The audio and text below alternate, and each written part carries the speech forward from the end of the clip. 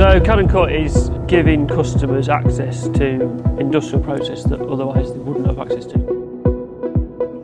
It covers such a wide variety of uh, possibilities in as simple or as complex form as that might take. I like the variety of getting out there, meeting customers, problem solving, even when it's going wrong. It's, it's quite rewarding. And agriculture, there's just so many opportunities. Problem solving is, is just, it's agriculture through and through. Ladies and gentlemen, welcome along once again to a very special profile piece. This time we're out again with uh, Mr. James Hudson. He's no stranger to you guys. We've done lots with him, looking at some of his various uh, bespoke projects and builds and things like that. But this time we're checking out his uh, CAD and cut business, which is part of the, the bigger business, which is uh, your uh, JF Hudson business. So, I mean, CAD and cut, for a starter, where does it sort of fit within the JF Hudson business? So it, it covers quite a bit of what we do and it sort of works with my engineering background and want to solve problems. So a lot of the videos we've done in the past has come from a problem solving background. So the weeders, there's a problem there, can we find a machine to solve that problem? The compact front boxes, that's a solution to a problem. And that's basically what this is. Mm. Um, right from the simplest form, which is basically a laser cut piece of steel, like like this. Yeah. This is a basically a piece of steel that goes on the bottom of a bolt for a bolt box for bolting stanchions to the concrete. The reason that's simple is because it's just laser cut. We supply them to a customer to save him the time of cutting and punching, and it means that he can get on with other jobs.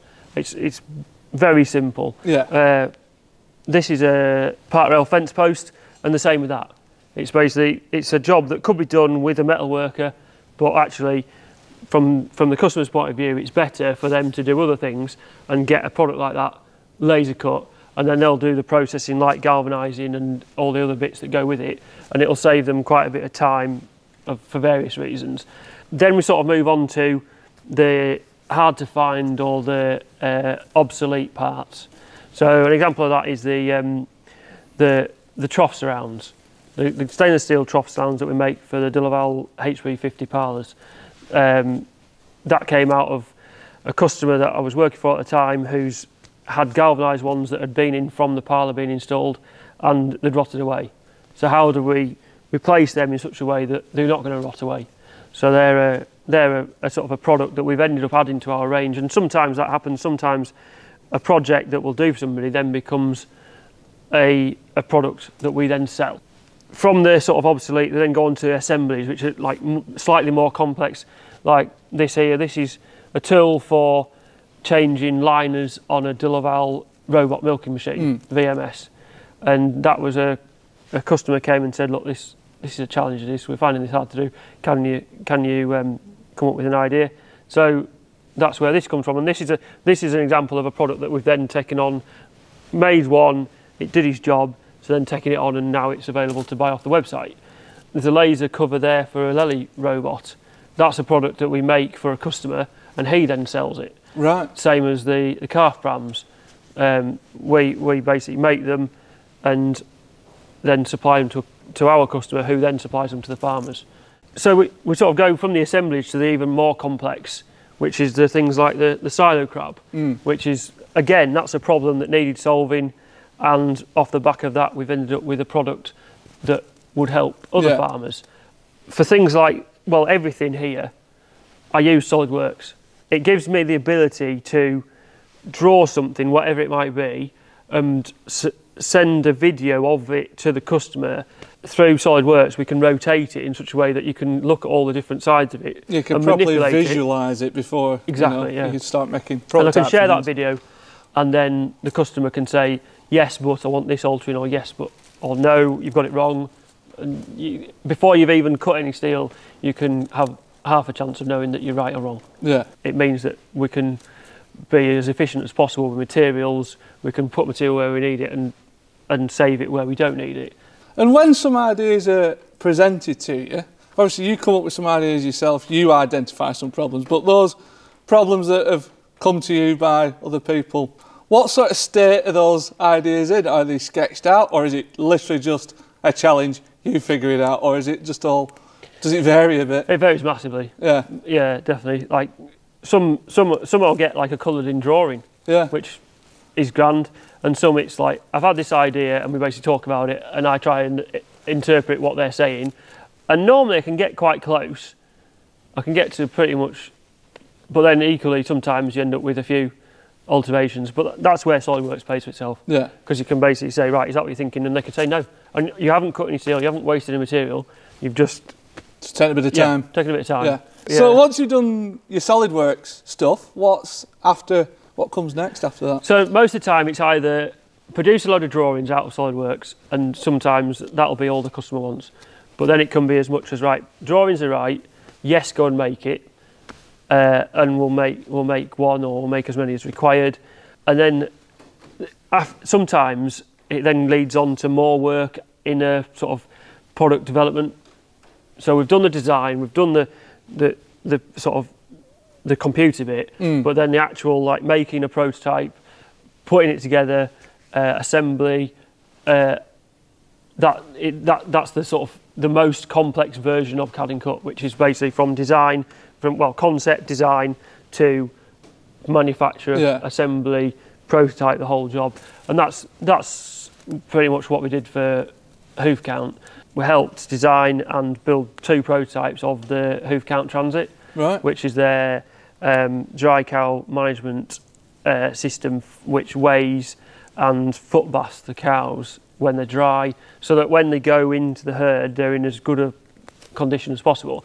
And it was it was a, a foot bath weighing, but also an out par feeder. So it combined as many things as possible. One project I did was a drew the steelwork of a milking parlour, and then produced a drawing so that the customer could go away and effectively produce that milking parlour themselves, and that that ended up with 115 different drawings of the different parts that then made up the sub assemblies that then made up the whole assembly, and um, so yeah, that was a reasonable sized project. Sounds like it. So the CAD and cut business then, or the CAD and cut side of the business, would you say that's something you're very passionate about, without sounding too soppy? yeah. Because you've got loads of elements to JF Hudson, the bigger picture company, but this problem-solving side of it. Yeah, it's certainly the, the business we have has sort of evolved over the last seven, eight years. Um, and in some respects, we've ended up doing a, such a wide variety of different projects. It just, some of the things we've ended up doing, I don't, it's one of them situations where you'd, you'd never, if you set off to say, right, we'll end up doing that. Well, example is building a silo crab. Yeah, Never in a million years would I have foreseen that in 2014. but it was an opportunity, and so as a business, because when I say we, it's me and Lindsay, yeah, and help from other people who aren't to be forgotten about. exactly. she's not going to let you either. well, like there's Rach, there's Nige, there's my brother, there's there's other people in the background, and I do sometimes think I'm guilty of saying we when really it should be me. Hmm. because I do think it's maybe making it sound grander than it is. But the reality is there is more to it than just me and Lindsay. Yeah, Um, yeah, the business we've ended up with is is just by its nature being quite a diverse business. Mm. From a from a small business point of view, uh, we're in a position where we can react faster than Mm. big business. Um, so if someone rings up and says, "I've had an idea, come and see us," I can I can go and see them, and I can look at it and say yes. And equally, if someone rings up and says, "What do you think to this idea?" or "Can you do this?" it's a yes or it's a no. And if it's no, normally it's a no, but I think I know who can yeah, um, because I am conscious that you don't want to take on everything, but it's hard to not say yes as well. yeah, you want to try and help everybody, but you know you can't. So yeah. sometimes it's a no, but I think I know who can help you.